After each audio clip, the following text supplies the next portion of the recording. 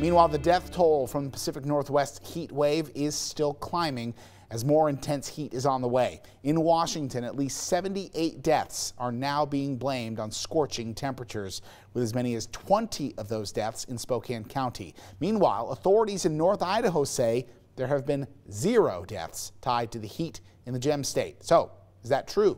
Our Morgan Trau verifies.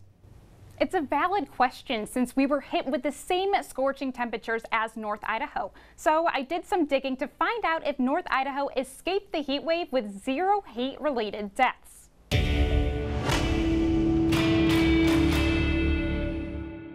Let's start with our sources. I reached out to the Panhandle Health District, county coroners in Idaho's five northern counties, hospitals, law enforcement, and county commissioners. We also heard from Craig Etherton, Coeur d'Alene Fire Department spokesperson. Have you seen any heat related deaths?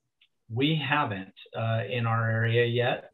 Despite Spokane County being mere miles away, no heat related deaths are being reported in North Idaho. According to the Panhandle Health District, not a single heat related death has been reported within the five counties the district serves. We wanted to investigate further. Typically, coroner's offices have the most up to date information, so that's where we went. Each county coroner confirmed they have not had a single case. We found the same statistic from the Coeur d'Alene Police, Kootenai Health, Kootenai County Sheriff's Office, and the Kootenai County Commissioners. So, how is it possible that Spokane can have 17 confirmed and three most likely heat related deaths? Etherton says there are three main reasons.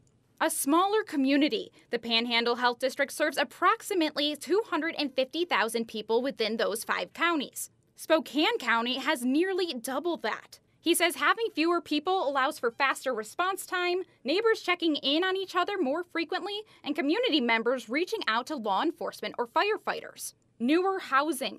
At least in Coeur d'Alene, he says a large population of the city live in homes that were built in the past 20 years. These homes are more likely to have air conditioning. And the environment. Lake Coeur d'Alene is able to provide some relief from the hot sun we we we still are small enough uh, to have that that kind of tight community feel and and be looking out um, for each other. And and that's not to say that you know folks in Spokane don't care about their neighbors but um, you know it's a it's a bigger town. There's a lot more people there. Uh, it's it's harder to it's harder to proportionally be able to check on um, check on those people. So we can verify that yes, North Idaho has so far not seen any heat related deaths. But it is important to consider the differences between the two regions. We are still tracking the heat related deaths in our area and will continue investigating what led up to them occurring and could there have been anything done to help prevent them. Do you have something you'd like verified? Email us at verify at krem.com. In the newsroom, Morgan Trau, KREM 2 News.